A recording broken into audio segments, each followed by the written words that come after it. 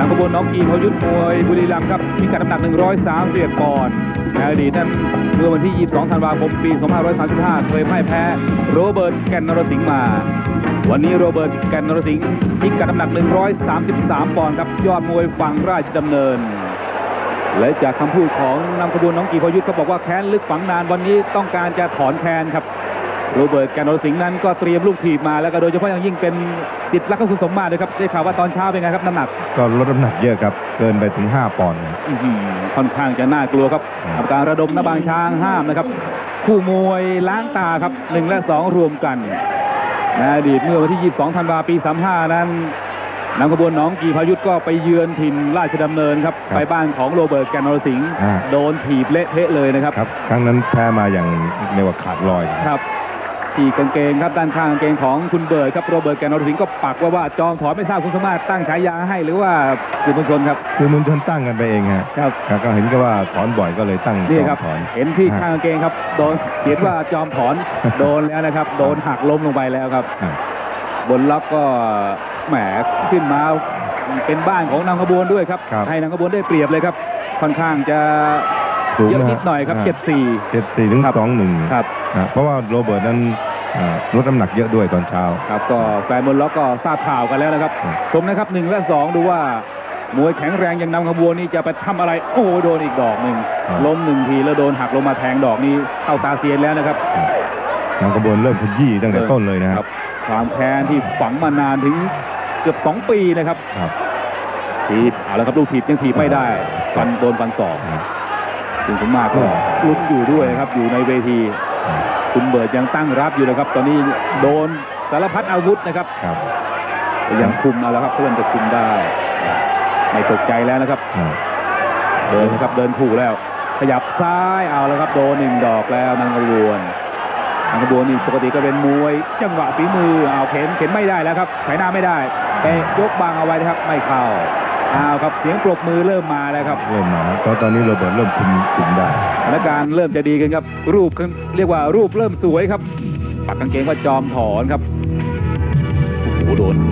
โดนดอกนี้ครับหมุนลงไปเลยแล้วหักหักตรงนี้ครับแหมแล้วไม่หลุดครับอืมไม่พ้น ไม่พ้นรัศมีเข่าโดนเสียบหมุนออกข้างฟันศอกเลยครับแหมเขียนไปนะลุงเอท่านโดนน่ะมีหวัง คำนะครับคำคำแล้วฟันโอ้โหนี่ฟันเข้าซอกคอเลยครับครับโรเบิร์ตโดนเยอะครับหนึ่งและสองนี่ซ้ายยังหลุดอยู่ครับ ตรงนี้ยังตั้งตัวไม่ติดนะครับอาจารย์ประโมทก็ไปสอนทางด้านของนำขบวนน้องอีพายุทธครับนี่ทางด้านร้อยโทขมิน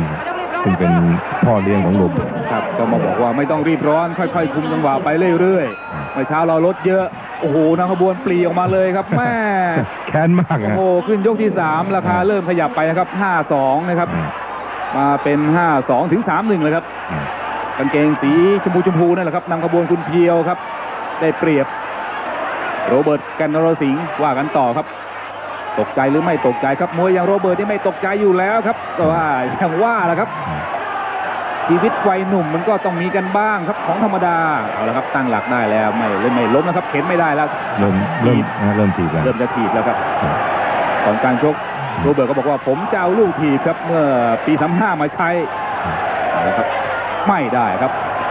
สาดแข้งขวาเจอซ้ายโต้ครับเริ่มเอาแล้วครับ บนล็อกเริ่มจะเฮฮาแล้วครับ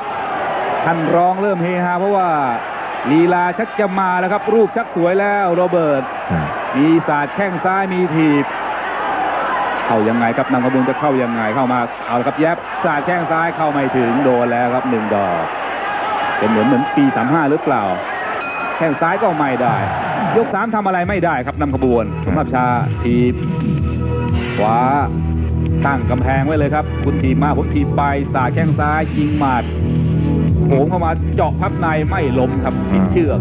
นี่ฮะจับไถไม่ได้ครันะบแฟนๆเห็นว่าจับไถไม่ได้ไถไม่ได้อ่าอาจจะเข้าทางเดิมนะครับครับคุณสมมาตรมาสอนที่มุมว่าไงครับ ครับตอนนี้เห็นว่าเข้าทางนะผมให้ค้ำขวาไว้ฮะแล้วก็เตะด้วยแข้งซ้าย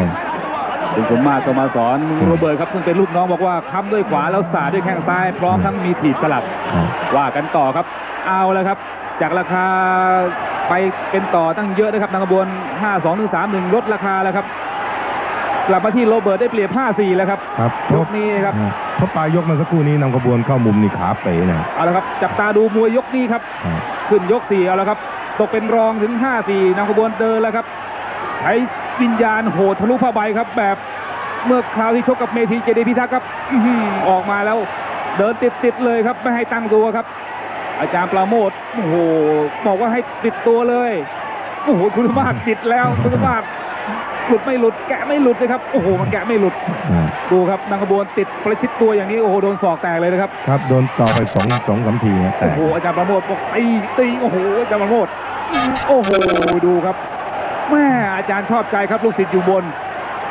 โรเบิร์ตโอ้โห ตั้งตัวไม่ทันครับ โอ้โห บุกสายฟ้าแลบครับนำขบวน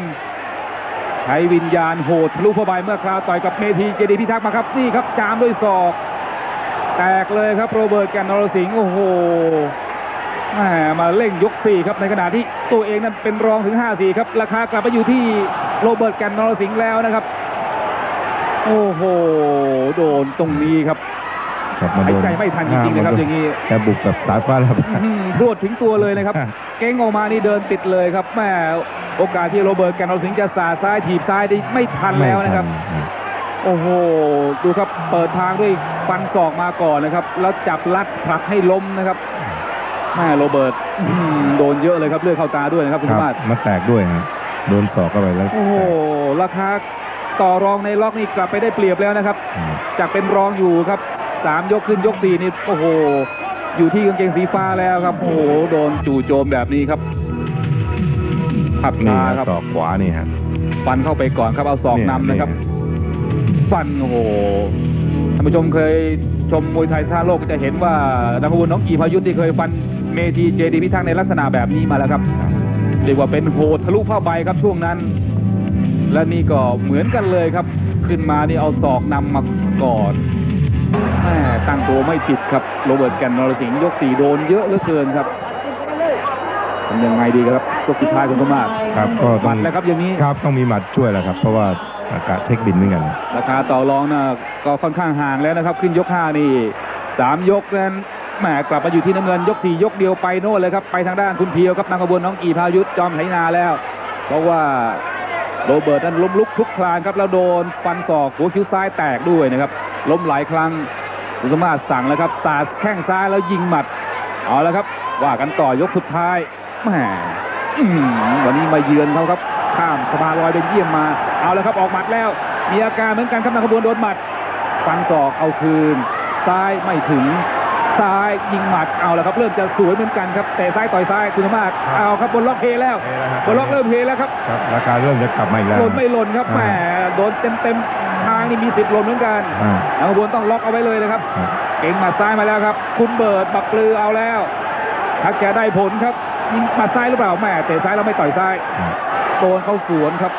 อื้อหือตอนนี้เอาก็ไม่ลงจะจะจะจะเป็นโดนอีกครับโดนขวาแหมกระเด้งเลย โอ้คุณเคยครับเนี่ยเคยมาดูฮะเจ้าของศึกครับครับแหมมาชมอยู่ด้วยครับก็จัดโรเบิร์ตต่อยอยู่ทางฝั่งราชดำเนินเป็นประจำแม่ดูครับเร่งได้นาทีกว่าโดนเข้าไปอีกอ่าแม่เกือบจะได้อยู่แล้วครับหมัดซ้ายแม่โห มาเอาครับสองประสานครับปลามือกันอีกแล้วครับมวยค่ายนี้ชนะต้องปละมือครับลูกศิษย์กาอาจารย์ก็ชนะครับถอนแค้นสำเร็จครับนำขบวน